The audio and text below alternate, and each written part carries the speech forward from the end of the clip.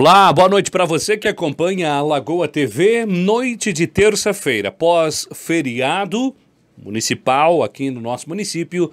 A gente vem trazendo as informações que são destaques em Lagoa Vermelha e também na nossa região e que envolve a área da segurança pública. Pois bem, a gente começa trazendo as informações da região.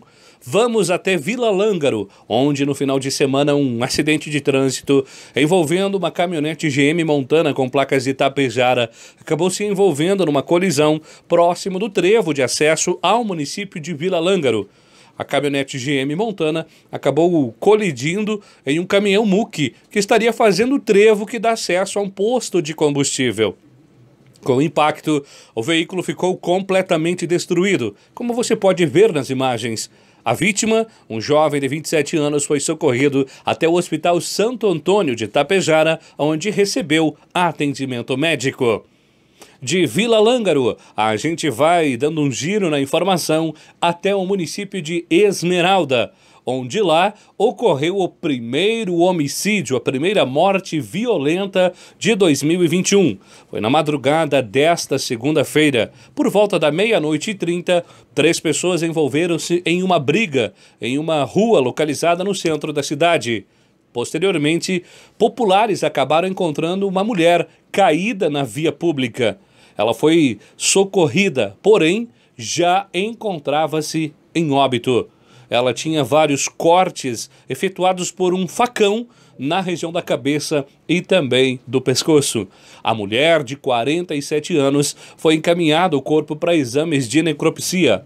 O possível autor desse homicídio, por volta de 5 da manhã, também desta segunda-feira, foi identificado, preso e encaminhado ao presídio de Vacaria, aonde agora fica à disposição da Justiça. Segundo as informações, os três envolvidos neste homicídio não tinham ligações familiares. E de vacaria, a gente consegue trazer mais uma informação. Hoje, pela parte da manhã, na manhã desta terça-feira, um indivíduo acabou abastecendo o veículo aqui em Lagoa Vermelha, em um posto de combustível localizado às margens da 285.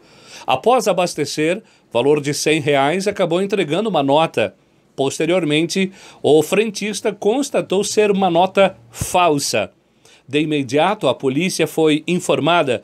Buscando as imagens através das câmeras de vídeo monitoramento, foi possível identificar o autor, o veículo e as placas do mesmo. Em Vacaria, cerca de duas horas depois, foi feita a abordagem do indivíduo em revista, localizado com ele mais 17 notas de 100 reais, todas falsas, além de outras 10 uh, cheques, a 10 cédulas de cheque que também estavam com a assinatura falsificada.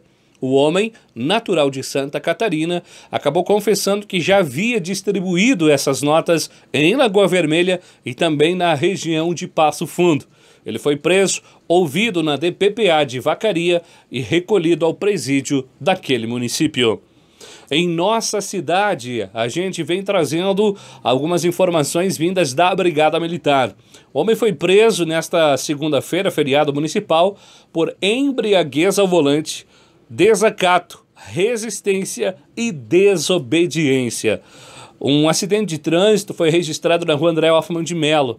A polícia foi até o local, acabou encontrando esse homem que, bastante alterado, com visíveis sinais de embriaguez, investia os contra os policiais. Foi feito o uso moderado da força para conter esse homem, acabou investindo, desacatando e resistindo à prisão.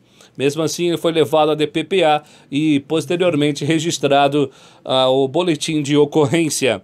Brigada Militar também acabou prendendo dois indivíduos por tráfico de drogas e associação ao tráfico nesta manhã de terça-feira em Lagoa Vermelha. Por volta de 10 horas, dois indivíduos tentaram arremessar um pacote para dentro da casa prisional. O policial militar que estava de serviço acabou localizando o pacote e vendo os dois indivíduos saindo do local, as paralelas BR paralela à Avenida Presidente Vargas. Nesse momento, os policiais foram informados, realizaram buscas e acabaram prendendo os dois indivíduos, um de 18, outro de 22 anos. Ambos já possuem antecedentes. Foram juntos encaminhados com a droga até o presídio e posteriormente recolhidos até Passo Fundo no presídio regional. Em Caseiros, para a gente finalizar as informações desta noite de terça-feira, foi constatado um acidente de trânsito hoje por volta de 8 horas da manhã. Uma colisão traseira entre dois caminhões. Um deles ficou parado na via, junto ao trevo que dá acesso ao município de Muliterno. A Polícia Rodoviária Federal esteve no local, orientou o trânsito, efetuou o registro e acabou aí fazendo a liberação dos caminhões ninguém ficou ferido. O trânsito ficou lento por cerca de meia hora até que a polícia resolveu, né, e realizou aí os é, registros de praxe. Ponto final na nossa blitz policial nesta noite de terça-feira e voltamos amanhã, quarta-feira, às 9 horas, na Rádio Lagoa FM e a partir das 19 horas no telejornal da Lagoa TV. Até lá.